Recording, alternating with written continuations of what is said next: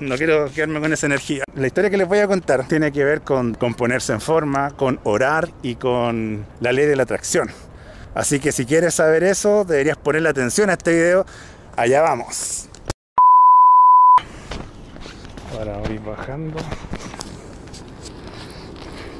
Ya mientras bajo se me ve se me ocurrió grabar otro video más. Saben que venir para acá me causó muchos recuerdos, weón. Así que de hace 10 años atrás, de cuando estaba eh, adelgazando y exitosamente. Porque ahí trotaba mucho, pero cada salida me rindió.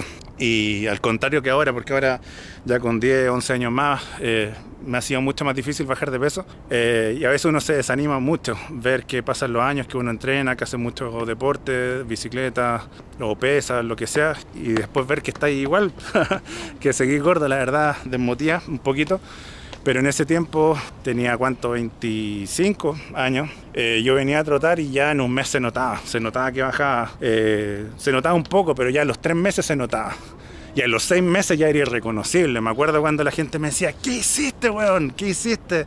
¿Por qué estáis tan flaco? De hecho me pasé, quedé demasiado flaco, más de lo que quería, pero me, vinieron muchos recuerdos y voy a grabar un, un video respecto a eso. Pero no lo voy a hacer aquí, lo voy a hacer abajo en la parte de oración. Así que acompáñenme este sector ya es como reservado para la oración. Y sin ponerme cristiano, quiero grabar un video sobre la ley de la atracción, weón. Porque en, mi opinión, la oración y la ley de la atracción no son cosas que estén reñidas. Viene siendo una misma energía, weón. Yo estaba orando hace 10 años atrás. Subía y subía orando, rezando. Y la verdad estaba aplicando la ley de la atracción sin darme cuenta. Y creo que esa vez nomás la apliqué bien en mi vida. Y eso les quiero contar. Pero como les digo, se los cuento un poquito más abajo. Espérame. Acá es donde quiero llegar. Porque aquí es donde yo venía ahora. Esta parte de aquí, weón, como que me, me es más reflexiva. Porque arriba hay mucha gente tomándose fotos, weón. en esta parte yo estaba más en silencio, más callado. Y desde aquí yo oraba. En ese tiempo yo estaba ya terminando la universidad y había engordado. Ya la universidad entré delgado. Si encuentro una foto te la dejo y luego engordé. No tengo fotos de la época en que engordé, pero créeme, engordé y engordé harto. No tanto como ahora, pero sí harto. Y resulta que yo quería volver a estar como estaba. Me sentía un poco solo porque llega un punto en que uno se siente solo, en que uno necesita de repente una relación o quiere una relación, tal vez no lo necesitas, pero lo quiere, lo desea, estar con alguien, con una chica, eh, etc. Bueno, en ese tiempo a mí me iba muy bien con las chicas, la verdad. Eh, la verdad fue así siempre, en el colegio también. Pero aún así llega un punto en que a veces uno se siente un poco solo. Entonces voy a bajar un poco porque eh, yo quería estar un poco más solo, pero justo pasó alguien y, y no pude, pues bueno. ¿Cachai? Bueno. Aquí perdí un poco el hilo tratando de esquivar a una tipa extremadamente copuchenta que donde yo me ponía iba. Al parecer estaba muy metida con la historia. Ya, me voy a poner acá mejor, estoy un poquito más solo. Les contaba que en ese tiempo yo estaba, con, estaba más gordo em, y me sentía mal por eso. Quería adelgazar. Eh, salía harto, carreteaba harto en ese tiempo, tenía hartas amigas, me iba bien con ellas, pero, pero hoy llega un tiempo en que tú querías como una relación estable, te aburrís de andar deseando por aquí y por allá, estar con una y con otra, pero no tener nada realmente. Y tenía ganas de emparejarme. Llevaba solo mucho tiempo. Siempre me ha gustado mucho la compañía femenina, tener amigas, qué sé yo. Pero mm, eh, cuesta que yo me empareje. Y cuesta porque no es ni por mañoso, ni porque me gusta andar soltero, para nada. Pero es porque soy exigente para, para pololear. No pololeo con cualquiera, no soy de los que se enamora tan rápido, de los que se entusiasma rápido puede ser, creo que eso nos pasa un poco a todos, pero me voy de a poco, me voy de a poquito, eh, me gusta saber con quién me estoy metiendo, eh, ver cuál es su mundo, presentarle mi mundo de a poquito. Si le empiezo a presentar mi mundo es porque me interesa seriamente. Y de hecho, mientras más en serio me interese la persona, más lentito me voy. Bueno, la historia es que en ese tiempo ya llevaba todo el rato sin una relación estable. Y, tenía ganas de tener una polola, pero no quería cualquier polola. Bueno, la cuestión es que en ese momento yo estaba bajando de peso, subía acá a trotar, trotaba mucho, eh, me animaba de todas maneras porque veía que cada vez que trotaba pasaba una semana y cada semana estaba más delgado y más delgado, entonces me estaba animando. Pero llegaba un punto en que también tenía amigas a las que yo les gustaba y les empecé a gustar más a medida que empecé a mejorar mi estado físico, eso es típico y pasa. La cuestión es que a mí no me gustaban ellas. Y yo quería eh, conocer una chica especial que para mí llenara mis, eh, mis criterios como para tener una polola, una novia, como se dice acá en Chile. Y resulta que yo mientras venía trotando, yo venía orando y venía pidiéndole a Dios de verdad exacto, eh, punto por punto, cómo quería que fuera esa polola, cómo me la imaginaba, eh, que fuera bonita, obviamente, pero sobre todo que fuera buena, que fuera buena, que fuera tranquila, que fuera leal, que fuera confiable. Y me centré muchísimo en criterios que eran eh, internos, de personalidad, que se llevara bien con mi familia, que fuera una chica de lindo corazón y bueno, ¿para qué voy a hacer la historia tan larga? Pero a lo que voy es que cada vez que subía, y yo subía aquí tratando hasta cuatro veces, cada vez que yo subía rezaba, rezaba y rezaba. Y era lo mismo, y era lo mismo, y era lo mismo, la misma petición. La cuestión es que fui súper específico. Y pasaron meses de eso, pasaron muchos meses en que yo fui específico en cómo quería esa persona, en las, en las formas que quería que fuera, su personalidad, fui súper específico en la personalidad, qué sé yo, y bueno, para hacerte la historia corta y que fuera linda, que fuera linda, que fuera linda y que su personalidad fuera buena, compatible a la mía eh, en cuanto a lo valórico, eh, que fuera una chiquilla buena, porque eso puede ser muy genérico como te lo estoy explicando, pero a lo que hoy te lo estoy explicando genérico, pero fue súper específico. Yo fui muy específico y fui muy persistente y cada vez que venía para acá pedía lo mismo, pedía lo mismo, pedía lo mismo y en vez de venir escuchando música, venía orando y pidiendo eso. Y resulta que pasaron unos meses y ¿cuántos meses habrán pasado? Como seis, tampoco fueron tan pocos. Y resulta que después conozco a una persona tal cual. Tal cual. Y bueno, me puse a pololear con esa persona y al final era tal cual lo que yo pedí. Bueno, quizá puede ser un poquito más específico, por ejemplo, que fuera un poquito más alta o algo así, pero estuve pololeando mucho tiempo con la chica, digamos, de mis sueños. Eh, bueno, en ese tiempo era la chica de mis sueños, ya no, obviamente, pero eso es lo que te quería contar. ¿Tú crees en la ley de la atracción? ¿Y cómo la aplicáis? Porque un tiempo estuvo muy de moda, estuvo muy de moda, pero como una receta de cocina. Y yo nunca fui muy partidario de eso, del pide, cree, recibe, pide, cree, recibe, visualiza, visualiza, hace una lista. Y yo la verdad, yo creo que todos pasamos por una etapa en que nos pusimos a probar, nos pusimos a probar y, tratamos de usarla y después cuando veíamos que no, no, no habían resultados, lo dejábamos. Pero bueno, en ese momento yo tenía tantas ganas, de verdad, y no lo vi como la ley de la atracción, lo vi como oración pero fui súper persistente. Si yo venía acá todos los días, Todos los días venía por lo menos, por lo menos cuatro veces a la semana, por lo menos. Y cada vez que yo venía para acá, piensa una pura subida, no sé, pues media hora trotando. Eh, por, en el fondo el pique, como yo subía y bajaba, subía y bajaba, menos de una hora diaria no era. Y yo insistí, yo persistí. Y después me llegó la persona tal cual yo la pedí. Bueno, esa relación terminó, en, este video no es para hablarte de la relación y obviamente después salieron problemas, hubo dificultades, pero justamente las dificultades que tuve con esa persona fueron quizás las cosas las que me costó o las que yo no especifiqué. Y me da para pensar que si yo hubiera sido más específico aún, quizá hubiera llegado a esa persona, tal cual yo la pedía. Y esa fue mi, gran experiencia con el tema de la ley de la atracción. Que, insisto, en ese momento yo pensaba que era oración simplemente, pero no, era ley de la atracción. Porque yo lo pedía con fuerza, lo pedía con intensidad, lo pedía con mucha fe, porque en ese tiempo yo estaba súper, súper cristiano. Y no sé si fue coincidencia, weón. Yo creo que no. Yo nunca sentí que fuera coincidencia. Yo creo que no, porque pedí muchas cosas para esa persona y fue tal cual así la persona que me llegó. Entonces, bueno, ahora venía yo grabando un, un video acá de subir el San Cristóbal en bicicleta, pero me acordé de eso al venir a esta parte. Y se los quería compartir. ¿Te pasó a ti alguna vez de que ocupaste la ley de la atracción, pero de verdad, de verdad, de verdad, y te funcionó? Porque, pero no, no, así como probando, así como por si acaso, sino en serio. Es que yo no la hice con el objetivo de que, ay, estoy usando la ley de la atracción para que pase esto. No, para mí era la oración.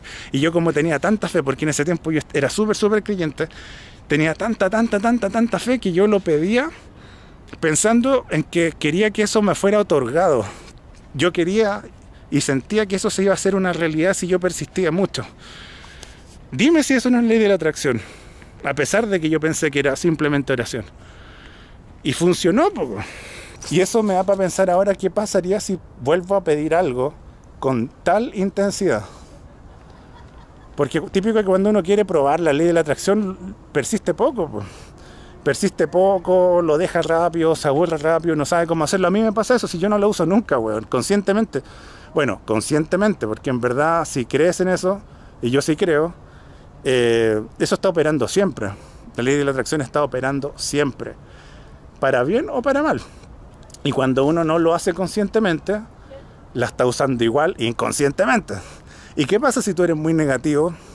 Si tú siempre estás pensando que no se puede, que te va a pasar algo malo, qué sé yo. Te pasa, pues, weón. Te pasa. Y no te conviene, pues, weón. Entonces ahí tú te das cuenta que conviene pensar positivo, pues, weón, pero no a tontas y a locas. No voy a pensar positivo por pensar positivo y ser como un negacionista de la realidad, que muchas veces no es nada tan positiva. Eh, yo creo, digamos, en, en tener como un software positivo en tu mente, más allá de las circunstancias aparentes. Y digo aparentes porque a veces pasan cosas que parecen una desgracia, pero a veces son una oportunidad disfrazada. po. ¿Te ha pasado? A mí sí, pues, weón. ¿Cachai? ¿Cuántas veces, puta, por una desgracia, algo que en el momento me parecía una desgracia, puta, qué mala suerte me pasó esto, al final quedé mejor? Te pongo dos ejemplos cortos. Eh, mi bicicleta de ruta. Quedé en pana en ella hace dos semanas, se le rompió una pieza, el desviador, la cadena, qué sé yo. Y al final terminé cambiando esas piezas y además le puse siete dientes más al piñón. Y ahora está más liviana. Pasó por una desgracia, pero al final terminó siendo algo bueno para mí. Ahí tenía un ejemplo. O por ejemplo en los videos anteriores cuando fui a Hierba Loca por primera vez. ¿Te acuerdas que me quedé sin agua? Ya pues me quedé sin agua, pasé sed, la pasé mal, pero eso me hizo parar harto rato buscando agua. Y en esa espera conocí a Connie, una muy buena amiga. Connie ya la has visto en dos videos míos anteriores. Mi primera subí a Hierba Loca y cuando fue al molino. Ella es Connie. Una muy buena amiga. Y si yo esa vez no hubiera, no me hubiera quedado sin agua, no lo hubiera conocido porque hubiera seguido avanzando o me hubiera devuelto. Entonces, a veces hay circunstancias que son malas, aparentemente, pero vienen ocultando algo bueno detrás. Entonces, yo te invito de repente a que cuando pasa algo malo, antes de quejarte te esperé un poquito, po. no te lo tomes tan mal.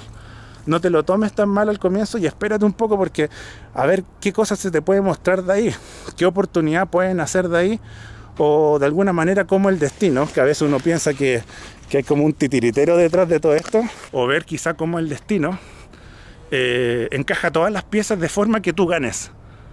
Porque a veces, a veces yo, y yo creo que a ti también te ha pasado, a veces me siento como, claro, uno maneja su destino, yo creo que uno maneja su destino. Pero hasta por ahí nomás, weón, porque a veces he sentido como que uno fuera parte de una obra de teatro y que hay un director del teatro que cambia los, personajes, weón, o cambia las situaciones. O como que uno fuera un títere más y el titiritero de repente te cambia, te cambia tu rol. O te cambia las herramientas, o te cambia el contexto. Y puede ser para bien o para mal. Eh, pero ese para bien o para mal, ¿de qué depende? ¿De si uno se portó bien? No sé, weón. No sé porque a veces igual veo gente, entre comillas, mala, de lo que uno podría pensar gente mala, que le va bien. A veces uno ve gente que en apariencia es mala o se porta mal o que es súper egoísta o narcisista y tú ves que le va bien. Entonces eso me llevó a pensar que la visión quizá más cristiana de, oh, si yo voy a ser bueno, Dios me va, a ver mis méritos y me va a ayudar. Yo creo que igual hay algo buen, cierto en eso, o sea, cuando tú haces cosas buenas, te llega de alguna forma después algo bueno. Eh, y yo lo viví una vez también.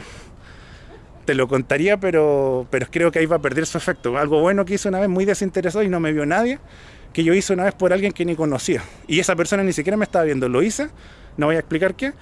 Y al tiempo yo después quedé en Pana, me acuerdo, en la calle, en un auto antiguo.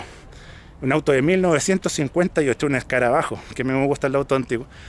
Y quedé en Pana en la noche, no me conocía a nadie, quedé tirado y me quedé sin batería. Y eso pasó como una semana después. Y resulta que llega una persona en un auto igual, pero más nuevo, y me dice, Felipe, te regalo una batería. Andaba con otro hijo, te la regalo, weón. Y yo dije, ¿qué? ¿Por qué? Un desconocido viene en un auto igual al mío, que ya es un escarabajo, que en Chile hay muy poco, y me regala desinteresadamente una batería. Y me lo decía como que me conociera. Me dijo, Felipe, yo te regalo una batería. Y yo no lo podía creer, weón. pero internamente yo dije, fue, debe haber sido porque yo ayudé a esa, a esa persona esa vez. Y nadie supo, ni él supo. Y ahí dije, mmm, porque yo también he a gente otras veces, pero cuando te ve alguien, alguien te está viendo. Y cuando es así, no pasa nada, pues, ¿cachai? Creo que la única, única, única vez que con todas las de la ley yo ayudé a alguien muy desinteresadamente, weón, donde primero ni siquiera me pidieron ayuda, la persona no se dio ni cuenta. Eh, y de hecho a mí me dolió dar un poco porque yo di lo que no tenía incluso en esa oportunidad.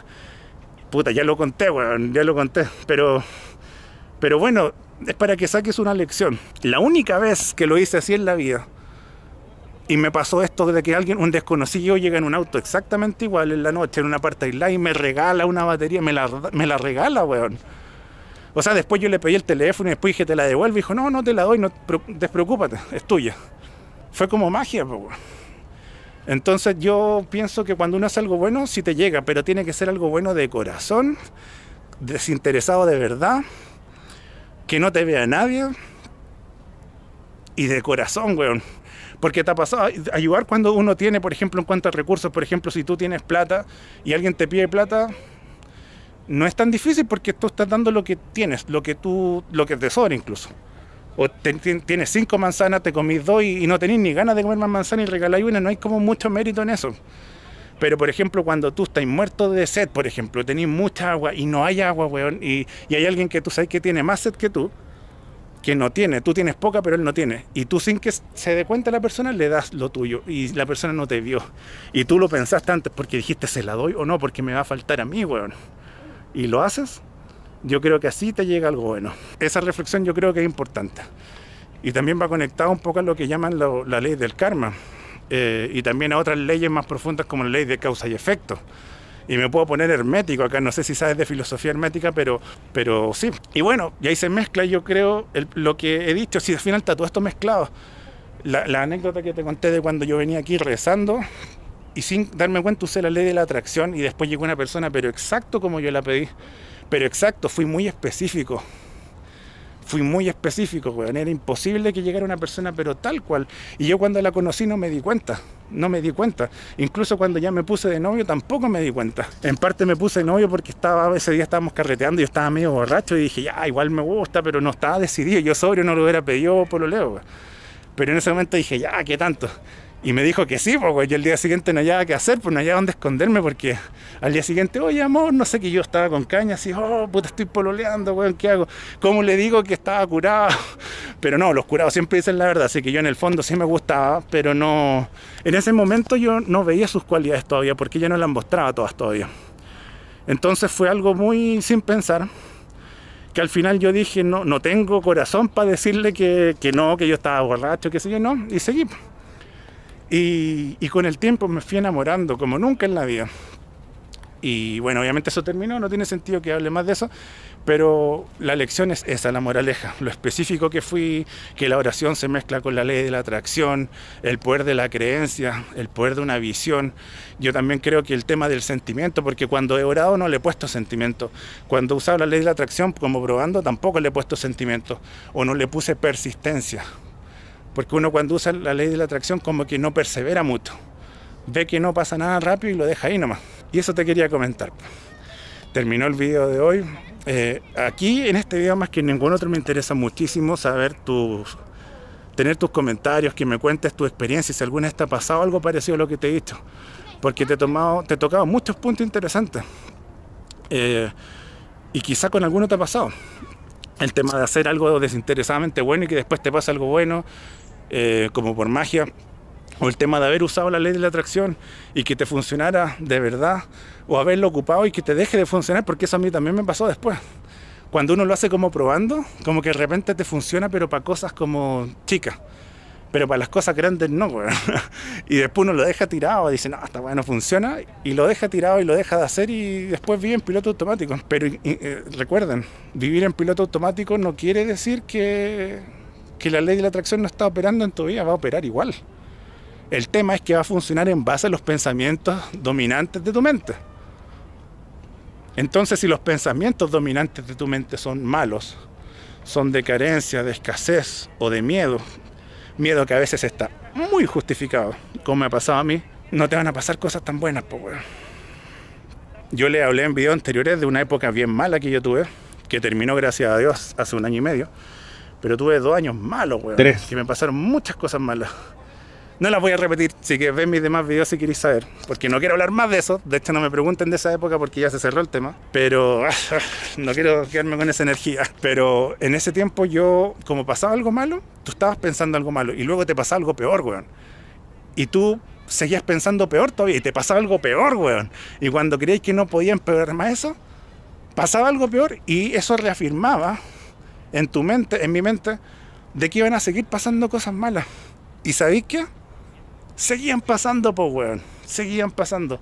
Era una cuestión increíble, weón. Si no era una cosa, era otra. Yo ahí, me, ahí les puse el ejemplo de cuando la ley de atracción me funcionó para bien, ¿cierto? Pero el ejemplo que te estoy dando ahora es una prueba también, o un testimonio de cuando funciona para mal. La ley de atracción, si la ley de atracción no es ni buena ni mala, funciona siempre, weón. Para bien o para mal. Entonces, si queréis que te pasen cosas buenas, empieza a pensar positivo. Pero insisto, no infantilmente, ay, todo es lindo, todo es lindo, no. Pero cuando te pasa algo malo, weón, no te quejes tan rápido porque, como te digo, puede ser una oportunidad disfrazada, weón. Por ejemplo, cuando yo quedé en Pana en un año de 1950, en un auto de 1958, tirado, créeme que no vi que era algo bueno, fue algo malo, objetivamente. Pero el hecho que apareciera una persona desconocida regalarme una batería fue algo bueno, pues, weón. Claro, me puedes decir, era mejor no haber quedado en Pana nunca. Hmm, quizás sí, pero es que eso, el, el hecho que pasara esa situación me permitió a mí darme cuenta que esto, la ley del karma o la ley de causa y efecto está operando, pues, weón. ¿Cachai? Si yo nunca hubiera quedado en pana, no hubiera visto eso que pasó. Y yo estaba en ese tiempo con mi papá, me acuerdo. Y mi papá no entendía como por qué yo me sonreía por dentro y como que yo no quería decirle lo que me pasó con esa persona que yo ayudé porque sentía que iba a perder el efecto o el poder si yo lo contaba. Y estoy convencido de que así fue, weón. Y ahora acabo de contarlo, weón, por primera vez. Es que ya pasó hace años, así que filo, weón. Así que de repente hay que hacer otras cosas buenas y desinteresadas si uno quiere que pasen como milagritos en tu vida. weón. Y eso, pues, termino este video, te dejo con esas reflexiones y esta vista del Cerro San Cristóbal. Me despido, que estés bien, sin más, me voy, te dejo reflexionando, comparte este video si te gustó, ponle me gusta, suscríbete si no te has suscrito y por favor, déjame tus comentarios. Por favor, porque podemos aprender todos de esto. De la ley de la atracción no se habla mucho, weón. No se habla mucho. La gente es como egoísta, cuando le funciona es como egoísta y no quiere contar lo que le funciona, o cuando no le funciona no quiere quedar mal o de ridículo, y tampoco lo cuenta. Así que déjame tu comentario, weón. En total no te está viendo nadie, no te conoce nadie, los que comentan por lo general no ponen fotos tampoco. Así que deja tu experiencia, de verdad, para que todos aprendamos, porque puta, espero que, que mi experiencia le haga clic a alguien, weón. Eso pues, que estén muy bien. Nos vemos en el siguiente video. Chao.